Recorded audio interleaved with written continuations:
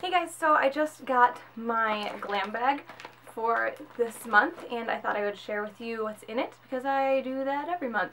And I apologize for my lighting. I have new lights and I'm also at home at my parents' house and for some reason the lights are making me look gray and I'm doing my best to trying to figure out how to counter that. But for right now, this is best I could do. So I'm gonna go ahead and jump into that. So apparently not enough people were like buying the Just Fab things with the coupon codes that were being sent, so now they have like an entire book trying to sell us shoes from there, so that is in there, along with the $20 off coupon code thing. And then there's the little card with everything that's in it, and it says from Ipsy with love, so I'm assuming that's the theme. I don't even know if they theme these anymore. And then there's a glam bag gift subscription now available thing. So they've kind of started to ruin the surprises. For the glam bags, they're posting everything that's in them before, well before they get shipped, at least well before I get mine. And it's a little disappointing to me because I kind of liked the surprise.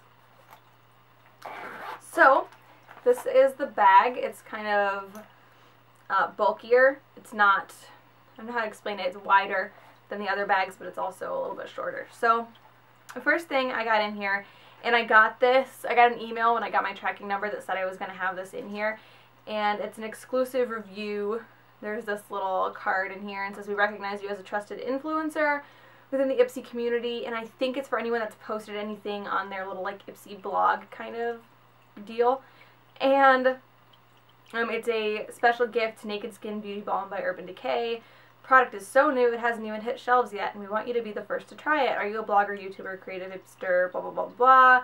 Uh, try the sample and share your thoughts. So they put that in here and it's just Urban Decay's BB cream. It's supposed to come out in January. And it's a very, very tiny um, sample so I really don't even see how I can get too much uh, of an idea of what it's like out of here. But yes, it's a very, very tiny tube of Naked Skin by Urban Decay. And there's no color on here, so I'm assuming it must come with in one color. I just ran out of my um, BB cream in the pink. I can't even think of the brand right now.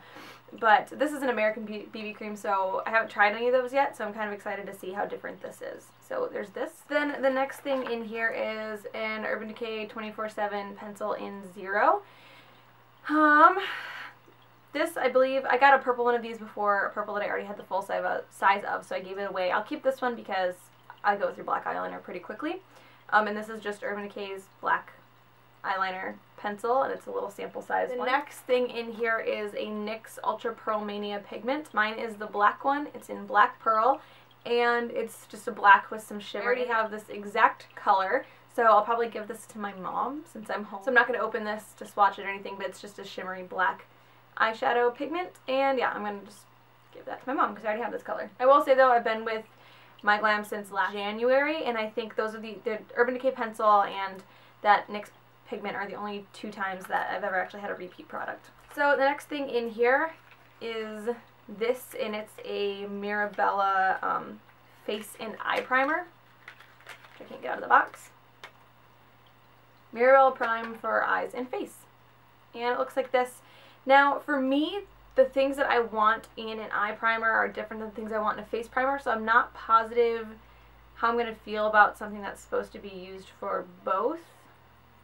It's clear, and it's just a very silicone kind of uh, thing. It feels like my face primers. It feels like what I want like in my face primer, so I'll probably most likely use this for my face and not so much for my eyes. Um, I'm sure it would work fine for the eyes, but just for me, I don't like that silicone feeling on my eyelids. So there's that in there.